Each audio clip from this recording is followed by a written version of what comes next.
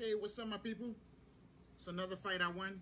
Uh, Daniel Roman versus Ricardo Espinal. Yo, let me tell you something. He fought that fight really good. Like, you know what I'm saying? Especially when he was catching him with those uppercuts. Kept catching him, kept catching him, kept catching him. Yo, that uppercut had a GPS on that shit. That shit had a GPS. That shit was finding its mark every time. From all different angles, he was catching him. And what started the whole thing, his jab. His jab was on point. Kept catching him. Kept catching him with the jab. And then that's what that's that's what activated all the rest. Like you know what I'm saying? Like, you know. At first he started a little choppy, but then he did a readjustments and then he fought good right after that. Like you know what I'm saying? So, you know, like congratulations, Daniel, man, you know what I'm saying? And remember, he just lost. He just lost. So um he had to do like a bounce back fight. And he did it against a pretty good hard puncher. Because when he was hitting him, he was actually hurting him. Like, you know what I'm saying? But he adjusted to him. He adjusted to him as he was fighting him. Like, you know what I'm saying? That's that's what I was like, yeah, you know what I'm saying? And um, he did really good. Body punching. He moved around the ring real good.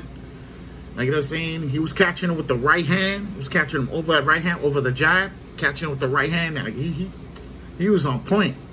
He, he, he, he fought great, man. And I really don't got nothing bad to say. Um, Ricardo's the one that fought terrible. Like, you know what I'm saying? He kept coming directly at you. You don't, let me explain something to y'all people. Y'all do not chase nobody. You do not chase nobody.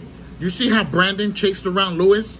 You're going to see he's going to get in front of somebody, which we already know who he's going to fight. And he's going to try to do that fighting with him. He's going to do try to do the same thing. He's not going to be able to do the same thing. I believe I believe he's going to have a harder fight. To tell you the truth, he's going to have a harder fight. Like you know what I'm saying? So you know, like, and he got a bigger fighter. He got a fighter just as big as him in front of him. You know, there ain't gonna be no little no little Lewis. It's gonna be a bigger fighter in front of him. Like you know what I'm saying? So I don't believe his punching power is gonna work in that fight. You know what I'm saying?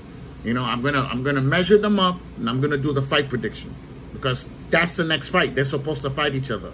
The winner from this fight fights him. Like you know saying? So you know, I'm gonna do the after fight. The look at me, the fight prediction after I do this, because this I only had two. I did two yesterday. Like you know saying? I was looking for my fifth fight, but it disappeared. Like it's not showing.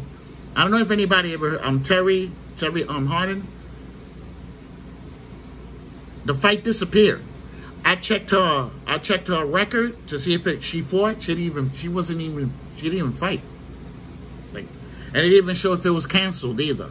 It didn't even show if it was canceled. I believe that was a typo. I believe that was a typo. Terri Harper. You know what I'm saying?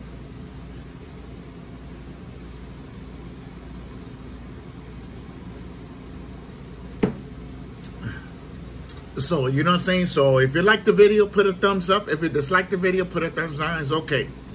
I won this fight too. You know what, what you gonna say? I didn't win it? Good luck. And I got that shit on video that I made that fight prediction. So, thumbs up, thumbs down. Don't forget to subscribe.